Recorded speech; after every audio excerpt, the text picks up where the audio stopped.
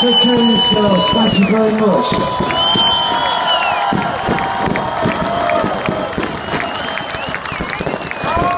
God bless.